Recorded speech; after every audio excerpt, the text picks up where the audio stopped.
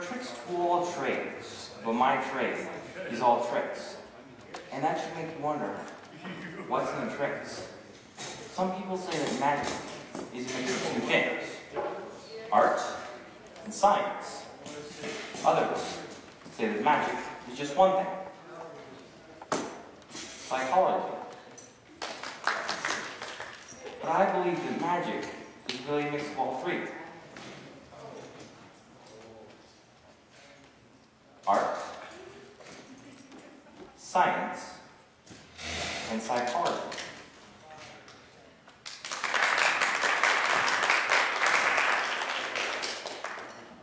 People often say that a magician fools the eyes, but in reality, we go a step further.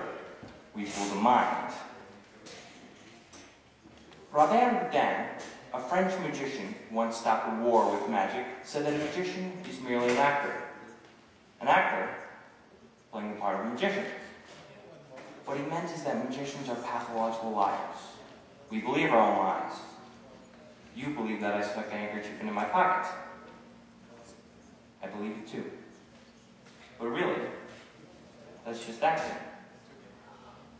And that is exactly what Robert Houdin meant. By acting like I was really sneaking the handkerchief into my pocket, by making myself believe that I was doing something sneaky, I made you believe it too. But really, nothing sneaky had actually happened. Magicians do the same thing, but only in reverse. Instead of making you see something sneaky when nothing sneaky is happening, we make you see something nothing sneaky when something sneaky is happening. That confuses even me. In other words, I believe magic is happening. You believe it too. But wait. I've been messing around inside this pocket the whole time. That was just a distraction, so you wouldn't notice me sneak the handkerchief into this pocket.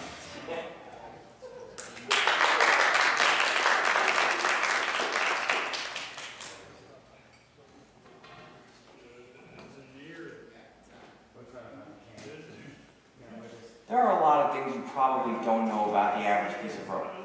For instance, did you know that every rope has exactly two ends, one on each, and one middle, and that the middle is always halfway between the two ends? Don't ask me why, that's just how they make them at the factory. But I want to show you something. If you take a pair of scissors and cut the rope right here, something amazing happens.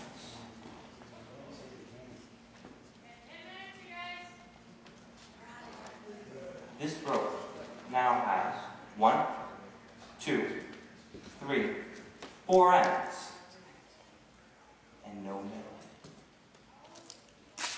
I know what you're thinking. Where did the middle go? How can we make it come back? Ladies and gentlemen, I have a solution. I know how to heal a piece of rope.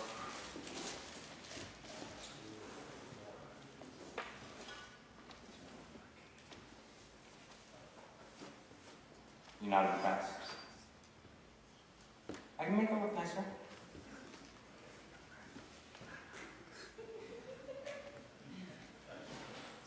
How does that look? You guys are just hard to please. Do you want me to fix it with magic or something? I can try, but no guarantees.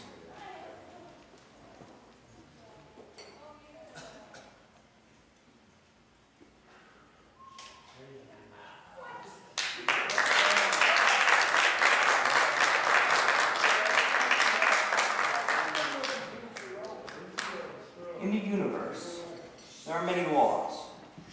Call these laws the laws of physics. A magician's job is to break those laws.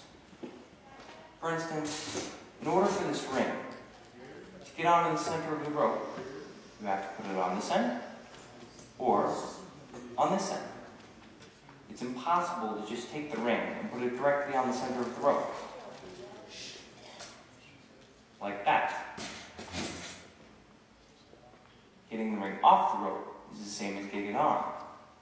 The rope can't penetrate the ring, and the ring can't penetrate the rope. That would be breaking the laws of physics.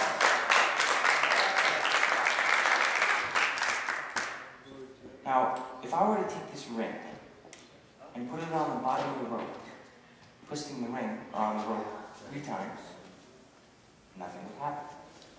But if I did it a second time, twisting the ring around the rope three times, nothing would happen. But if I did it a third time, twisting the ring around the rope three times, nothing would happen. But if I were to reverse the process on the third time and twist the rope around the ring instead of the ring around the rope, then the ring would go right on.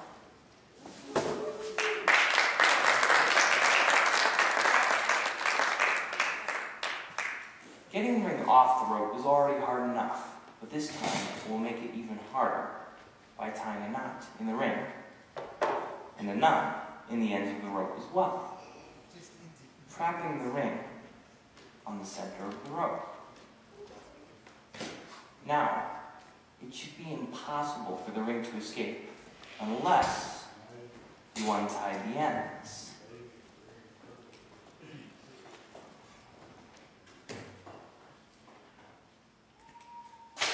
Undo that. Right. That was really just amazing. The ring never left the center of the rope.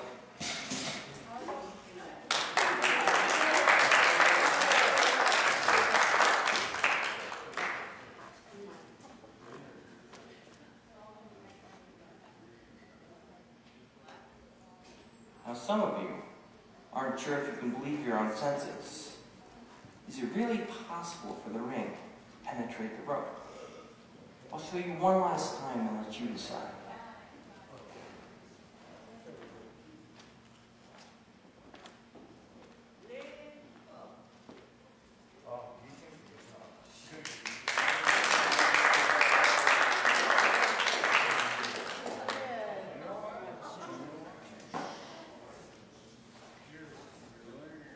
Does anyone know what this is?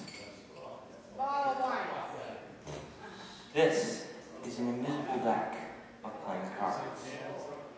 Do you know why you can't see it? Because it's invisible. Robert, would you catch this deck of playing cards for me? Catch it. Catch it. Catch it. Catch it. Catch it. Nice. Catch. Now give it a shuffle for me. Uh, it's easier you take it out of the box first.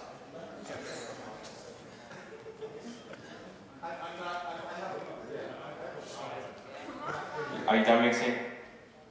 Have you have you thoroughly mixed them? Drunk people can shuffle cards too. Throw 'em back. No, no, no, don't throw them back yet. Now, take the jokers, throw them away. We won't be using them. The. Now fan through the cards and take out any card you'd like, but no making the obvious one like a royal card or an ace. Instead, make it more difficult so I can't guess what it is. Now take your card and put it back in the deck, upside down. Now put all the cards back in the box. You, you've got a box. Now toss the deck back to me.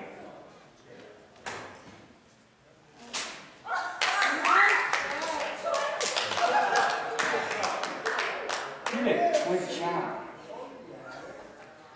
You shuffled an invisible deck of cards. You took a card, any card, and put it upside down in the deck. For the first time out loud, tell us what was the card you thought of? The two of spades.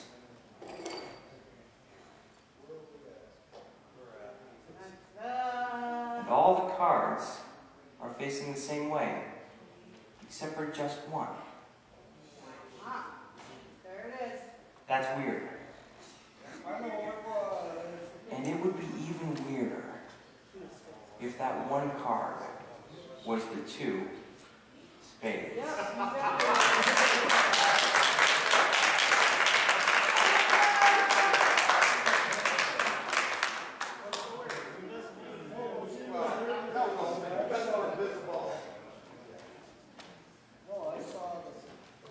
For as long as we can remember, magic has always shared very deep roots with science. So I'd like to show you an experiment in general science.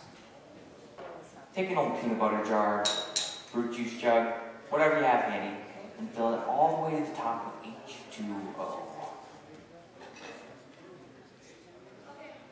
I'm not getting too technical?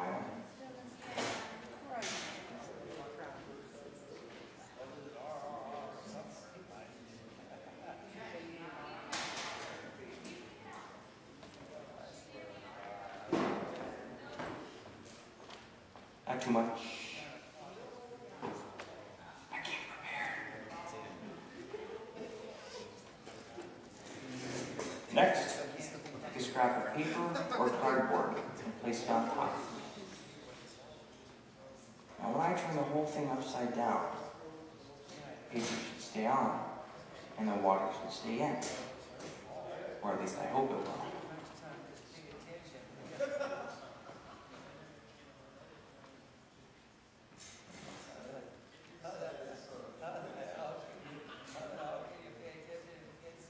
Might have been better for this.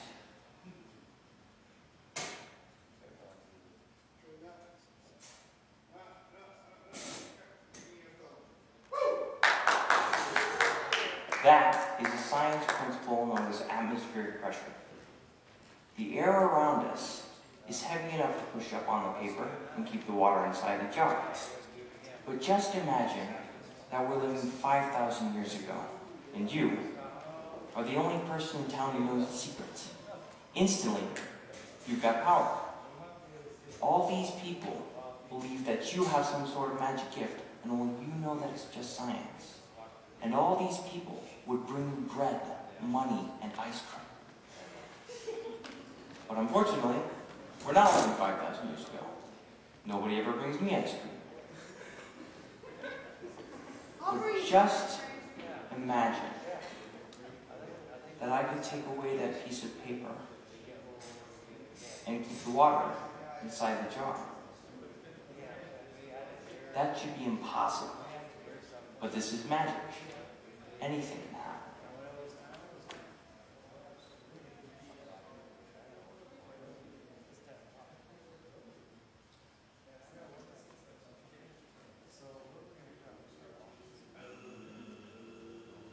Wait. You might think the sneaky magician put some saran wrap on the bottom. Let's check. Water? Pour. Stop. Pour. Stop. Pour. Stop. Amazing. All I have to do is say pour. Stop. Pour. Stop.